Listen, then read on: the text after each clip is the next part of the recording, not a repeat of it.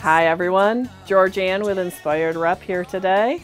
I am representing RV Lighting, the premier uh, LED provider in the RV industry for LED replacement bulbs.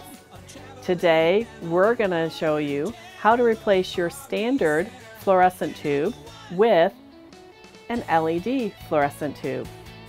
The fluorescent tubes in the LED come both in 18 inch and 12 inch. So this is your fluorescent tube. This is what it looks like normally. And this is what an LED fluorescent tube today looks like. Your fluorescent tube doesn't need to have light all the way around it at 360 degrees, whereas all of your light is going to be primarily facing downward in your light fixture. So this is a fluorescent tube replacement bulb in LED. Because the fluorescent tube has the light only on one side, this the ends you pull out and you can turn to whatever degree. So we really don't know when we put this in if it's going to fit perfectly and if the light comes down perfectly.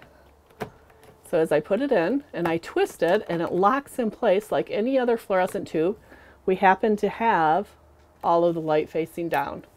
The LED will not produce nearly the amount of heat as, as the fluorescent tube.